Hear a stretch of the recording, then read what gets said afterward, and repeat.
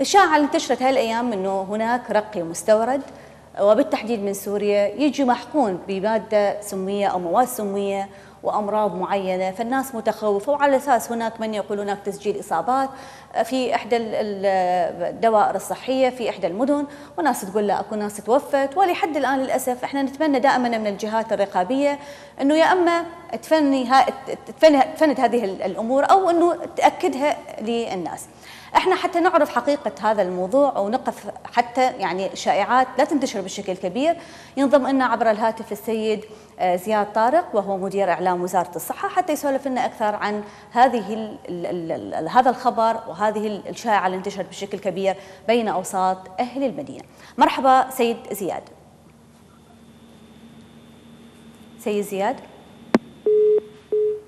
للأسف انقطع الاتصال. إحنا راح نعاود الاتصال به لأنه الموضوع مهم جدا وصفحات آه، التواصل الاجتماعي نشرت الخبر بشكل كبير والناس تفاعلت بشكل كبير. لأن نعرف إحنا فصل الصيف الناس يكون الرقي من ضمن أساسيات المائدة.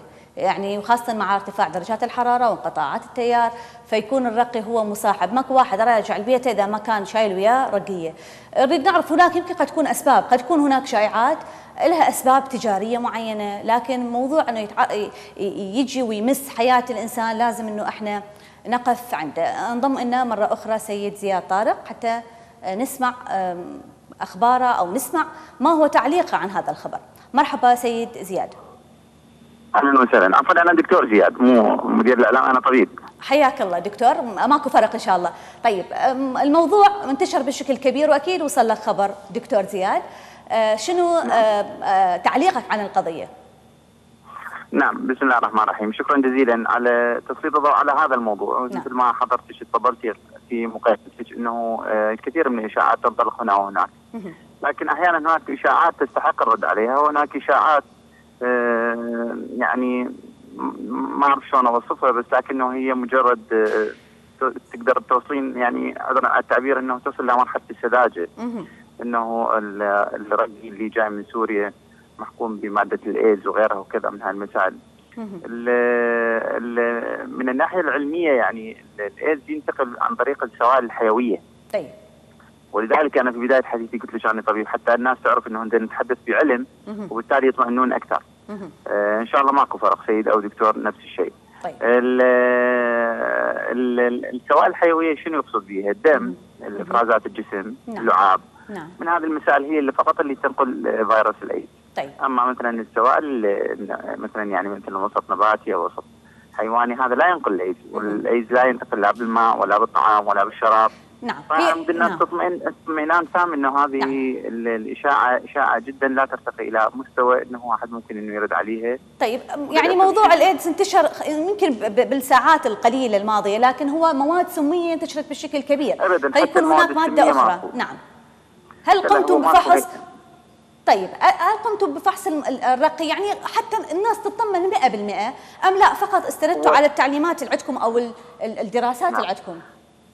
هو آه، سيدتي الفاضله هو نعم. إحنا ما نبحث لا رقي ولا النباتات ولا هذا مو من اختصاصنا فبالتالي هو لا توجد أي حالة ولا لم ترد أي حالة وفاة ولم ترد أي حالة تسمم. نعم. نستطيع يعني إحنا متواصلين ويا دوائرنا الصحية عن طريق التواصل الإلكتروني. نعم. وفي مثل أي حالة مثل شبهة أن تكون هناك شبهة جنائية بأنه حالات. التسمم. نعم إذا وزارة الصحة لم تسجل أي حالة لا حالة تسمم ولا حالة وفاة بالموضوع مثل ما انتشر لا حالة نعم. تسمم ولا حالة وفاة لكنه اليوم انت جو العام في العراق جو إشاعات خصب نعم. يعني هناك تسقيط سياسي هناك تسقيط آه، تجاري أحيانا مثلا تاجر آه، عنده مشكله عنده مثلا يريد يروج لبضاعة معينة. نعم. وإحنا شفناها حتى في مجال الأدوية اللي هو مجالنا. مثلا قبل فترة سرت آه، إشاعة إنهم مادة الامبيكلوكس هذه محقونه بفيروس الأيدز محددين يا شركة بالضبط. نعم وهذا كله مجرد إشاعات يعني. مم. وكنا نعرف إحنا مصدر من هذه الإشاعة اللي هي تسقيط تجاري بين تجار آه فلان يستورد دواء وفلان يستورد دواء. فبالتالي نعم. هذا الجو الخاص نتمنى إنه الناس لا تتفاعل ويا هذه الطريقة من التفاعل. وإحنا اليوم صار عندنا شيء مشكلة اسمه الفيسبوك بقدر ما الناس تتواصل اجتماعيا وفشي نعم. لطيف إنه تعرف أخبار البعض لكنه أصبح مصدر للإشاعات وتناقل طيب. الإشاعات بشكل غريب وكبير جدا نعم. نعم طيب دكتور زياد ليش ما حاولتوا إنه آه، يعني مثلا إحنا اتصلنا به كان المفروض إنه وزارة الصحة أيضا تأخذ على عاتقها نشر التوعية قبل انتشار الشائعة بشكل كبير يعني الشائعه صار لها فتره واليوم تطورت بشكل كبير وملحوظ بين أهل المدينة كان المفروض إنه يكون لكم دور أقوى للصد يعني من هذه الشائعات. يعني أقول وجهة نظر صحيحة ومو نعم. صحيحة. مرة إحنا إذا قعدنا نتفاعل بس ويا الإشاعات ونترك عملنا نعم. إنه بس مجرد إنه هاي. هناك 100 إشاعة باليوم تنطلق. مو من المعقولة نربك نفسنا ونربك الناس. هذا هذه صراحة ما صايرة في غير دولة. آه هذا من جانب. بس من جانب آخر علينا أيضا ان نطمن الناس. وهذا نعم. فعلا ما قمنا به. إنه حبينا نتأكد إنه هل هناك آه شيء اتصلنا بالدوائر مالتنا وأبلغنا سوينا بيان صحفي. وذكرنا أنه لا توجد اي أي شيء من هذا القبيل. نعم. وأنا مثل ما قلت لك من يقف خلف هذه الاشاعات قد يكون تسقيط سياسي أو تسقيط تجاري أو شيء من هذا القبيل. نعم لكن المفروض انه يكون يعني حتى لو تقولوا 100 إشاعة في اليوم هذه مبالغ بها الرقم، هي إشاعة صار لها فترة، تعرف إحنا العراق يعني بلد بلد الإشاعات خلي إذا ردنا نسميه، فالمفروض أن يكون هناك تواصل يعني كل دائره نعم كل دائرة عدد لك الإشاعات اللي حاليا هسه موجودة لكن هذه انتشرت، يعني المفروض إنه إحنا نطمن الناس لأنه اليوم هناك يعني ركود كبير آه، آه، لسوق الرقي والناس تدري معتمدة عليه بشكل كبير. شوفي هو صراحة يعني كنت أتحدث مع أحد الزملاء من قناتكم اليوم نعم. ظهر هذا اليوم لما كان يحاول يرتب هذا اللقاء. نعم. قلت له حتى الإشاعات اللي نعم. تطلق في غير بلدان ترتقي إلى مستوى من النضج لكنه نعم. إحنا المشكلة ضعف الوعي الصحي لدى المواطن العراقي. يخليه يصدق أي شيء. نعم ولذلك يعني إحنا نتمنى يكون هناك تعاون بيننا أكثر حتى نطمن الناس بشكل كبير حول كل هذه المواضيع.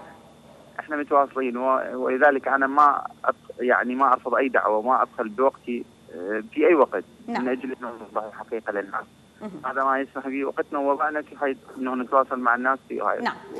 في البدايه شكرتش. نعم شك... نعم. إحنا أيضا نشكر نشكرك الشكر الجزيل وإنك طمنتنا وطمنت الناس إنه هذه شائعة 100% سيد زياد طارق مدير إعلام وزارة الصحة. شكرا جزيلا لك. ونرجع مرة ثانية ننفي الموضوع جملة وتفصيلا. ماكو وزارة الصحة لم تسجل أي حالة لا تسمم ولا وفاة بهذا الموضوع. وهذه مجرد إشاعات من أجل يعني مثل ما يعني نعرف قد يكون هناك تسقيط تجاري هناك ناس تريد آه، آه، تستورد من مكان آخر أو هناك منتوج محلي راكد.